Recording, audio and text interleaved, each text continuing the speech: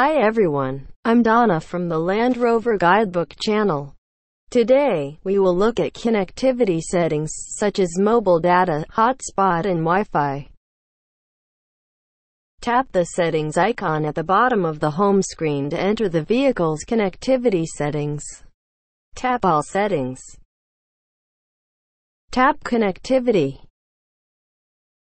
Connectivity settings include Bluetooth, mobile data, hotspot, Wi-Fi, Android device settings, and Apple device settings. And at the end there is About. Tap About to view the vehicle MAC address and vehicle IMEI. MAC address and IMEI are important to get a SIM card, so take a picture or take a note. The SIM card size for Land Rover vehicles is micro. It is not nano size that is usually used in smartphone. Do not use the adapter to fit the size. It may cause malfunction. There is a SIM card slot inside the center console box. Insert the SIM card in the slot as shown. Press reset to bring up this pop-up window. Press yes to reset all the content and settings of the connectivity. Let's go back to the previous screen and insert the SIM card into the vehicle and view the mobile data. To the right of the mobile data is a switch icon. Slide it to the right to activate it. Agree to the terms and conditions. The three dots will now start to move in the upper right corner of the screen.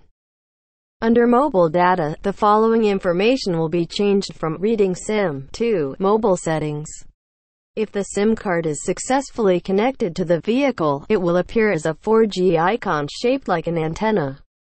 If you activate the mobile data switch and three dots do not appear and you see a no connection icon, the vehicle may not recognize it or may be broken.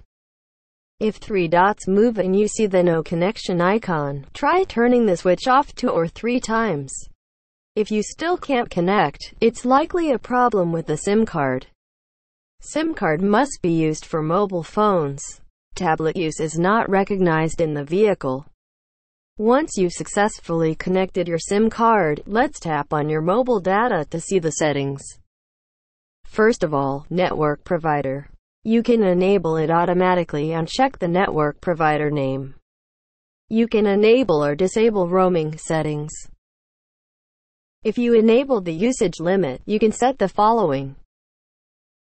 Tap the setting below to set the usage limit. If you press usage limit, a number pad like this appears. Enter as much usage as you want on the number pad, and then press OK. The usage has been changed to the newly set usage. You can also change units. Choose between megabyte and gigabyte next to the number pad. Press OK to display usage in the newly set unit. You can have the usage reset automatically in the monthly reset date column. You can set from 1 day to 31 days. You can reset the usage manually by pressing the reset counter. You can set or change the PIN on the SIM card. Select off to clear the PIN. Next is the hotspot. Activate the switch icon to the right of the hotspot and tap the hotspot item to display its name and password. Tap the reset icon at the bottom of the screen to change your password. The name does not change. Hotspot is the distribution of vehicle data to devices. Let's connect with a smartphone. Open your smartphone's Wi-Fi settings. Find the name of your car's hotspot settings and enter the hotspot password. Your smartphone is now connected to your car's hotspot. You can use your car's data on your smartphone. Next is Wi-Fi. Activate the switch icon on the right side of the Wi-Fi and accept the terms and conditions. Wi-Fi, in contrast to hotspot, is the sharing of your smartphone's data into vehicle. Open your smartphone's hotspot settings and activate. Check the smartphone's hotspot password and tap the Wi-Fi item on the car. Check and tap your smartphone name. Enter your smartphone's hotspot password, then tap OK.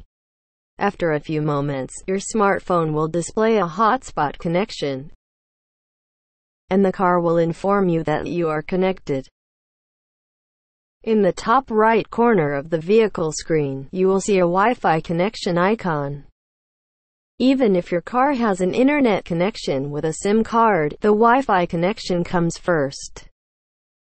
Disabling the Wi-Fi connection will automatically connect you to your mobile data.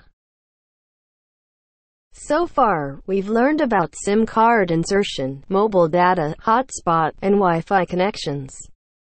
We will learn more about Android and Apple devices settings soon. In the next video, we will talk about Bluetooth connectivity. Please do not forget to subscribe. Thank you very much.